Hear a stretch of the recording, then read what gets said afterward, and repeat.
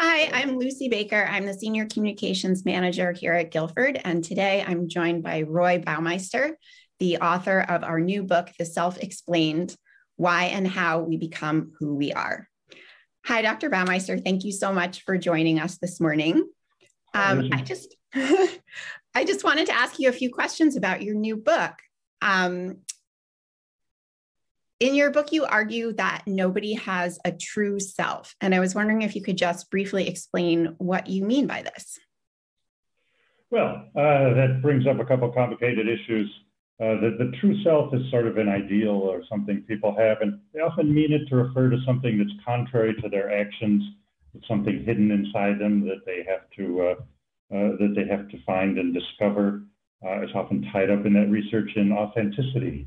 Authenticity is something that everybody wants, but nobody knows quite what it is. uh, so the true self is, is kind of the mythology of that. So uh, there, there are two issues here. The self is not the self-concept, although people mix those up. So first of all, a true self-concept, well, uh, you know, people have mistakes. Uh, most concepts of the self have some distortion. Uh, so uh, what would be absolutely the true version of self? Most people have have trouble getting at that. There's a lot of self-deception and distortion in there. Uh, in terms of a true self that's different from how you act, I mean, ultimately the true self is is what you do and how you relate to others and so on. But to believe in a different from that, well, that doesn't that doesn't quite make any sense. Psychology certainly not discovered any kind of uh, thing that's buried inside that's different from the, the reality uh, of what you do. That's so interesting. Um, you say that there are different theories um, that people propose that each person has many selves or one self or no self at all. Um, and what's your take on this? How do you resolve that basic question? Yes, yes, yes. Well, it's a basic question. Do we have a self? Uh, some people think there's no such thing as a self, that it's an illusion.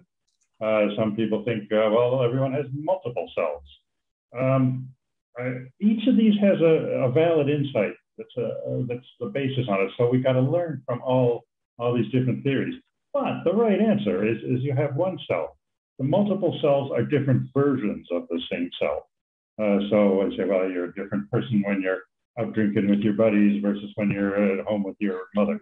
Uh, well, uh, you're you're really the same self. If somebody came to you and they borrowed money from you, or you borrowed money from them, uh, you still owe it to them uh, regardless. You can't say, oh no, that was my work self that borrowed money from you.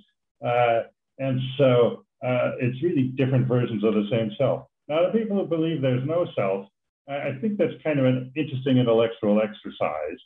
Uh, but uh, ultimately, I noticed they still put their names on their books. Uh, and I was tempted to tell them, okay, well, next time you get on an airplane, don't take any identification along and just explain to them that selves are illusions uh, and see how far you get. You probably get as far as security. Yeah. Uh, yeah. And uh, they'll they'll take you away, and then you'll pretty much discover that you do have a true self. Um, selves are really they begin with positions in society. Uh, it's the social structure. We evolved to benefit from these sorts of social structures that we have. Uh, and it's a very effective system. Our human population continues to increase while most other populations of, of mammals, at least, are, are, declining. So it's a good plan. The brain has to learn to operate roles in the social system, and that's how the self uh, comes into being. Uh, and the creation of unity across time, that's, that's the key to it. So the self is putting together the different parts into a whole. Uh, at the simple version, like babies or animals, uh, walking is a good example. You've got to control your arms and, uh, you know, if you've got four paws. I, I remember watching, I uh, walking or actually crawling is a good example. I remember watching my uh, baby girl learn to crawl and it's right hand, left knee, left hand, right knee. So the brain has to understand right and left, has to understand hands and knees, has to move them crosswise and alternate. That's imposing a system that moves the body as a whole. So there's the creation of unity. That's a very early version, and obviously most animals master that. Human cells are much more advanced. Uh, we extend across time, and that helps uh, society work better. I mean, again, to borrow money, you've got to pay it back. So you have to have the same self that acknowledges uh, the, the debt that you uh, made before. Um, and uh, the creation of unity remains imperfect. Uh, nobody's perfectly consistent or, or anything, but uh, it's sort of a goal. Again, the brain is learning to perform uh, this way because the social system uh, works better when, when, people have continuous jobs and roles and uh, moral reputations and, and, modern life bank accounts and property and uh, job titles and college degrees and, and, and many other things.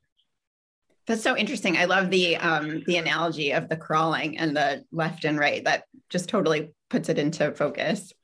Um, one of the things that's so great about your book, The Self Explained, is um, how unique it is in its scope. Uh, you intended its audience to be um, like expert scientists who are doing cutting edge research on the self, and also um, just like your typical college student taking a class. Um, how and why do you think your book is useful to all these different facets of people? Well, lots of lots of people are interested in the self. Uh, for one thing, uh, some people have a personal interest in understanding who they are uh, and uh, how they should function in society, and, and the interest in self-discovery motivates people to look at horoscopes and uh, have their fortune told, and to uh, spend years in psychoanalysis exploring their dreams and unconscious. So there's a, a, popular interest in, in self-knowledge. And then many disciplines uh, rely on the self too, especially the ones that are more interpersonal. Uh, for economics, for example, it doesn't make sense. You wouldn't have a marketplace if you couldn't own what you bought. Uh, and, and so the distribution of rewards and all that depends on selves. And I did a postdoc in sociology. They're very interested in self and identity. Many other fields are too. So this is a, a topic that's, that's, that's broadly uh, interesting.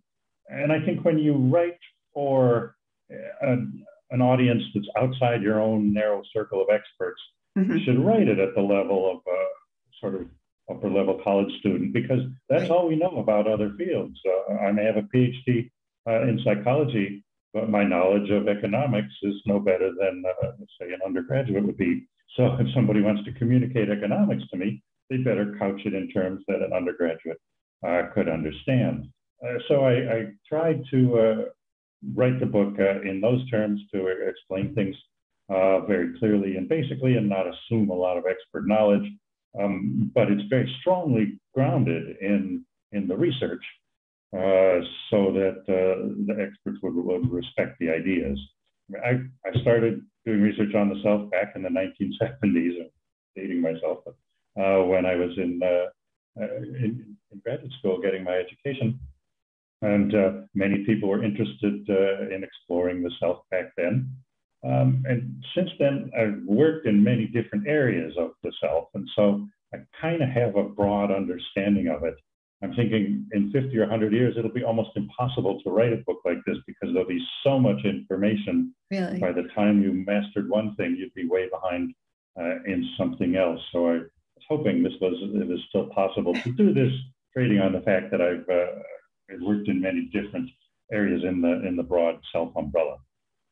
You you just referenced that you have been studying the self for so for many years. Um, and over the course of your career, is there like one or two moments or highlights that stick out as particularly illuminating or incredible to you?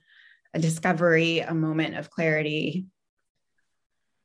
Well, it's hard to pick one or two. Uh, I'm, I'm, my approach is always to sort of follow the data.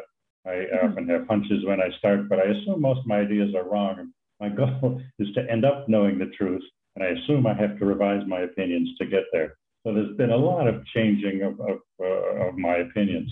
I got on to self-esteem early before it was a, a buzzword in society. Uh, one of my professors said, "Oh, there's this new thing called self-esteem." I, I actually did my undergraduate thesis on it, um, and then that was taken off in the 70s and 80s. And I thought, "Wow, this is really a powerful, important thing." And then the data started turning rather disappointing on that. That uh, uh, it wasn't going to be the cure all of all sorts of problems that, that we'd hoped. Um, so I, I, became somewhat disillusioned with self esteem. I mean, people still care about it, but it's more a result than a cause of things. Uh, uh, switching to self control, I realized that is much more uh, of a because mm-hmm. Uh, and you, you look at this particularly by measuring people over time. And so you say students with good grades have higher self esteem, and that tempted everyone to think, oh, if we could just raise everyone's self esteem, then students will learn better and everyone will get good grades. Uh, but when you track over time, it was the grades came first and then the self esteem. So raising their self esteem isn't going to lead to better grades. But with self control, it does work out that self control measured at time one leads to all sorts of good outcomes on time two. Um, then I tried to master the research on, on self control. I read a lot of things and understanding that the, the folk idea of willpower actually has some, some benefit, some traction. That it does seem like when there are a lot of demands on your self control at the same time, you don't perform as well. It seems like you run out uh, of willpower. So your ability fluctuates there. That was another uh, big step. Um, for the book, I read a lot of the research on psychopathology and mental illness and, and how the self goes wrong there. Um, and I initially assumed, well, it must be that you have some wrong idea about yourself that's causing problems. Well, there's a little bit of that, but the much bigger theme that came up over and over again is how the self is put together. Again, that reinforced the idea that the self is a system, a bunch of, of moving parts. Mm-hmm. And if they're connected wrong, uh, then the person can't function that well. Oh, wow. uh, some people have all the good parts together and all the bad parts right. together. Uh, sort of thing. Well, that uh, that doesn't work out so well. So it's really more about the organization uh, than the content. That was another uh, insight, and I hope there are at least half a dozen more scattered through the book that uh, that the readers will enjoy discovering also.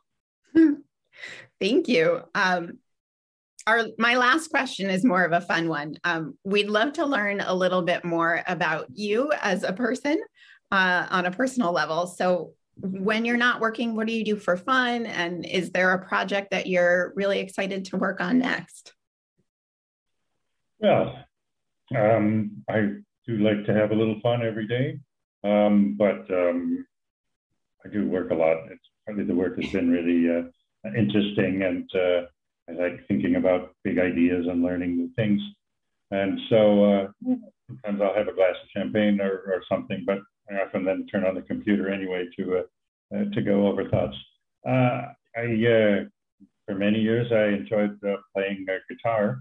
I'm getting a little old, and what happens when you get old is you you get arthritis and you can't do it anymore. My, my hero, the great guitarist John McLaughlin, he finally gave up playing the guitar uh, because uh, fingers just uh, become too painful and don't work as well. So that happened to me a bit, but the, the guitar playing was was lovely for a long time. Um, I used to windsurf also. That's kind of gone out of fashion. That was also a, that's. I can still ski. I had a lovely time skiing uh, this past winter. Um, but I've really enjoyed it. I, am not much of a tourist. A lot of people say they want to travel and things. What I like is living in different places. So right now I have two months here in this uh, lovely little medieval town in, in northern Germany. Um, and again, I'm not a tourist. I'm not like going to visit the church and take pictures of things and all that. I'm not interested in that. But I like living here and having my little German habits and shopping at the same places and eating German food and, um, sit outside and uh, um, uh, in a cafe and enjoy the afternoon sun. This kind of thing that uh, where I'm living currently in the U.S. or I lived recently in Australia. That wasn't really so easy and possible to do. Um, so I like being in different places and having sort of a different uh, version of, uh, of my life. And I think particularly for a social scientist, living in different culture is really stimulating. Partly just seeing your own home culture from a distance uh, is fascinating. I'm an American and living in America, well, you're caught up in everything American and so on. And just seeing America from a dis- distance right. is already interesting. And again, the tourist doesn't necessarily get that, but you live here for a while and you talk and you sort of hear the American news at the background at a great distance. Um, it gives you a different perspective, and then many things that you take for granted are just uh, are just different uh, in a different culture, and uh, the people have different ways of looking things, looking at things, and uh, so all that kind of stuff is fascinating to me. I agree. Yeah, I think living in living in a different place really um, changes you and changes your perspective and makes you feel more a part of the culture that you're visiting for like an extended period of time. Really. Yes. Also makes you feel part of your own culture too, because you appreciate it. It stands out to you more. I mean, being an American in Europe really makes you aware of being an American. Yeah. Uh, more than being an American uh, in Cleveland. Yeah, for sure. Um, well, thank you so much, and congratulations on um, your new book, The Self Explained. It's really, it's really an outstanding work.